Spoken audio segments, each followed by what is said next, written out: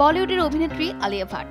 সম্প্রতি বিয়ে নিয়ে বেশ আলোচনাতেই আছেন, তবে শুধু বিয়ে নয়, এবার পারিশ্রমিক নিয়েও তার ভালো নাম শোনা যাচ্ছে। মূলত বলিউডের নায়কদের পারিশ্রমিক নিয়ে কথা বলতে শোনা গেলেও নায়িকাদেরটা তেমন একটা আলোচনা হয় না।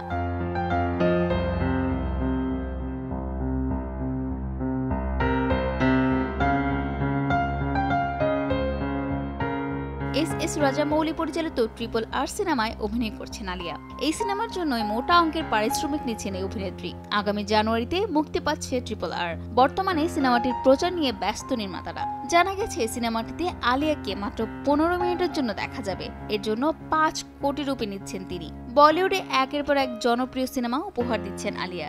সবচেয়ে বেশি পারিশ্রমিক পাওয়া অভিনেত্রীদের মধ্যেও তিনি একজন।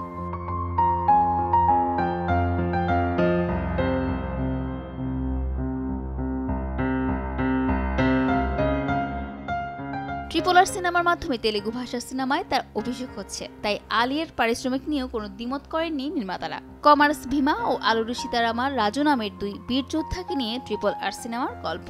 এতে কেন্দ্রীয় চরিত্র আছেন জুনিয়র এনটিআর ও রামচরণ। চারশো পঞ্চাশ কোটি রুপি বাজেটের এই সিনেমা প্রযোজনা করছে ডিভিডি নায়া।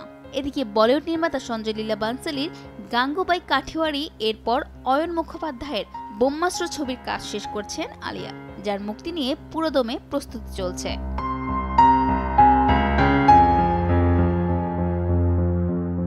ফাতামাহিনী সময় সংবাদ, ঢাকা।